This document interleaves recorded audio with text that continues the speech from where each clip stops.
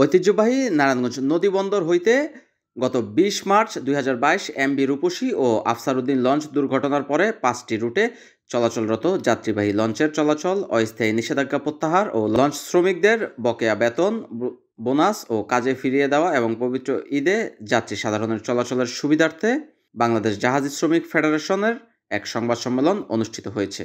বুধবার তেরোই April Narayanganj press ক্লাবের পঞ্চমতলা অডিটোরিয়ামে এই সংবাদ সম্মেলন অনুষ্ঠিত হয়।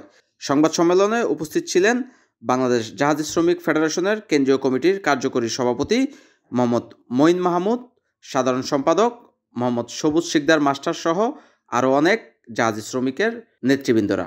এ সময় সংবাদ সম্মেলন থেকে বক্তারা বলেন, লঞ্চঘাট থেকে যে পাঁচটি রুটে, আপনারা জানেন যাত্রীবাহী লঞ্চ চলাচলে অস্থায়ী নিষেধাজ্ঞা দিয়েছে।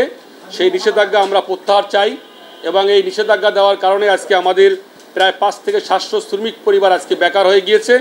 আমরা চাই ঈদের আগে যাতে এই প্রত্যাহার আদেশ উঠিয়ে নিয়ে অন্তপক্ষে নারায়ণগঞ্জ থেকে যে হাজার হাজার মানুষ বিভিন্ন রুটে যায়, সেই রুটগুলিতে যাতে সুবিধার্থে যাত্রীরা চলাচল করতে পারে এবং আমাদের শ্রমিকরা তাদের বেতন, বোনাস পেয়ে তারা যাতে তাদের আত্মীয় স্বজন এবং পরিবার পরিজনকে নিয়ে খুশি মনে তারা ঈদ উদযাপন করতে পারে।